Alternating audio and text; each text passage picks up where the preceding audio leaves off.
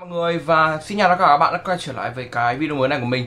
Và ở cái video này như các bạn đã đọc tiêu đề rồi Ngày hôm nay mình sẽ định nghĩa cho mọi người về cái local brand. Ờ, Và trước đó thì ở hồi mà mới mình mới làm youtube ấy Thì mình có một số những cái video về local brand rồi. Nhưng mà hôm nay thì mình sẽ định nghĩa lại bởi vì là mình thấy có khá khá nhiều bạn hỏi mình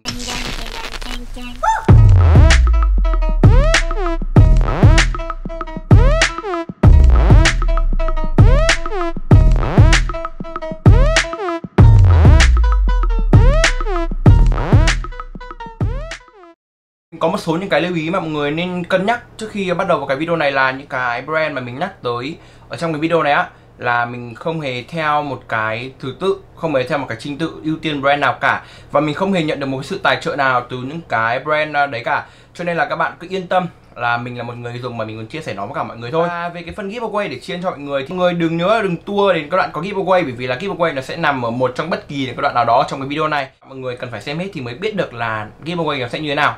Và những cái ý kiến sau đây chỉ đều là những cái ý kiến của riêng cá nhân bản thân mình. Và những cái câu hỏi mình thường gặp đều là những cái câu hỏi nó khá là chung nhau. Như ví dụ như là uh, Anh ơi, bạn ơi, mình muốn tạo nên một cái local brand mà mình không hề biết bắt đầu từ đâu. Uhm, Thì cái câu hỏi này thực sự thực sự rất là khó để có thể giải thích. Bởi vì là cá nhân mình thấy là mỗi local brand, mỗi cái hãng nó thường hơn nhau ở những cái chỗ như là form áo uh, mẫu mã thiết kế mà bây giờ lại hỏi như thế thì quá với lại với việc là anh ơi em muốn làm thì anh chỉ cho em chỗ mua đồ với. Thì nó là không không không được uh, hay cho lắm nên là những cái local brand hơn nhau ở những cái chỗ là họ có thể tìm được chất vải đẹp này uh, tìm được form áo này uh, và những thiết kế những cái mẫu mã thì thường thường là sẽ tùy vào những cái brand khác nhau. Uh, để có thể định đứng được cái local brand để theo cách hiểu của mình ấy thì là local là ở đây là địa phương uh, brand là hãng nghĩa là quần áo hãng địa phương nghĩa là bạn là người Việt Nam và bạn mặc đồ của Made in Việt Nam thì có nghĩa là bạn là đang mặc là đồ local brand. Nói là local brand nhưng mà tại sao lại có khá là nhiều những cái hãng uh, thời trang địa phương ở Việt Nam họ thường ra sản xuất những cái sản phẩm limited. Uh, những cái hãng đấy thì mình không tiện nhắc tên ở đây nhưng mà nếu như mà bạn là một người cũng khá là quan tâm về cái local brand thì các bạn cũng đã biết được là những cái hãng nào rồi. Là họ thường là sản xuất những khoảng tầm từ ờ, 50 đến 100 chiếc áo t-shirt và rồi sau đó thì lại đẩy cái giá cao lên và cho nó là một cái limited uh, cho nó là một cái gì đó nó cực kỳ là cao siêu nhưng mà thực chất thì nó không ở cái mức đấy không đến được cái mức đấy đâu. Uh, và đã là local brand thì mình phải ưu tiên những người Việt Nam những cái người local mình mặc chứ. Cho nên là cái số lượng thì phải cực kỳ nhiều và không hề có limited. Uh, và những cái áo limited đấy nhá thì khi mà các bạn mua về các bạn sẽ phải mua một cái giá hai lên rất là cao. Ví dụ như là các bạn áo retail của nó cái giá bán của nó chỉ là 400 khi khi mà các bạn mua về nó sẽ lên khoảng tầm từ 600, 700 và 800 ờ, thì đó là những cái cách mà họ thường là đẩy lên cái brand của họ lên thôi chứ còn không có gì gọi là quá đặc biệt cả. Và thay vào đó thì tại sao họ lại không làm ra nhiều số lượng cũng như là cho một cái giá thành hợp lý để ai ai cũng có thể sử dụng được. Và cá nhân mình thấy ở cái thời điểm hiện tại là những cái local brand ở Việt Nam thường bị mắc một cái lỗi rất là nhiều cái brand mà mình hay gặp là họ thường đi đến những cái hình ảnh trên mạng và rồi về thuê thiết kế thuê người để có thể vẽ lại và sau đó thì đi in xong rồi gắn mác vào là tự nhận đấy là một cái local brand, thực ra cái một cái một cái hãng địa thời trang địa phương thì nó thực sự thực sự rất là khó. Và người dùng cũng sẽ chỉ nhìn vào cái vẻ đẹp ở trên chiếc áo không hề quan tâm đến là cái hình ảnh đấy cái hình ảnh gốc đấy là của người nào sáng tác và thiết kế ra.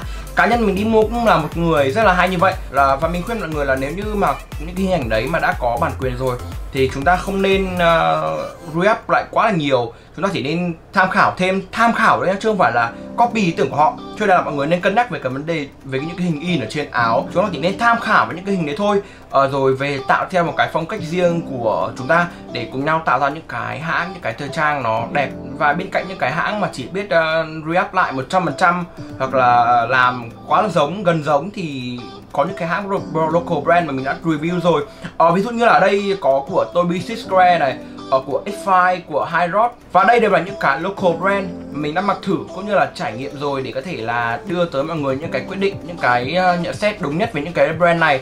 Là họ đều có những cái phong cách riêng của mình những cái phương châm châm ngôn bán hàng riêng của mình. Cho nên là và mọi người có thể bấm vào link Instagram ở bên phía dưới để có thể uh, làm theo đủ theo các bước mà để mình có thể giveaway được. Và mình sẽ chiên với cả mọi người trong cái quãng thời gian vừa qua mà mọi người đã ủng hộ mình. Ok, quay trở lại với cái chủ đề của cái video này.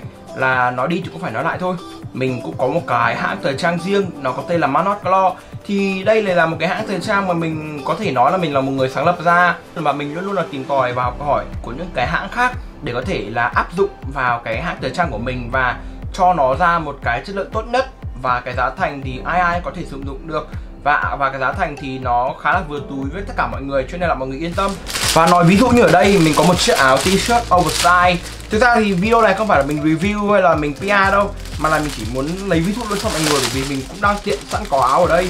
Ờ, thì cái áo này đó là một chiếc áo t-shirt oversize của Manot Claw thì ở mặt trước của nó thì cũng in một cái logo bình thường thôi. Ở mặt sau thì nó sẽ có một cái detail khó nó khá là giống của áo uh, Fox là in tag ở đằng sau gắn tag ở đằng sau và cái đường line đường line các bạn thấy cái đường line ở đây không? Đây là một cái đường line mà của trên áo Fear God áo Fox nó có một cái đường line ở sống luôn như này để có thể dựng được cái form áo của các bạn lên. Để từ để mình sẽ lấy cái áo t-shirt của Fox ra đây để cho mọi người có thể hình dung rõ hơn về cái đường line này và đây. Như mọi người có thể thấy đây là một chiếc áo t-shirt của Fox.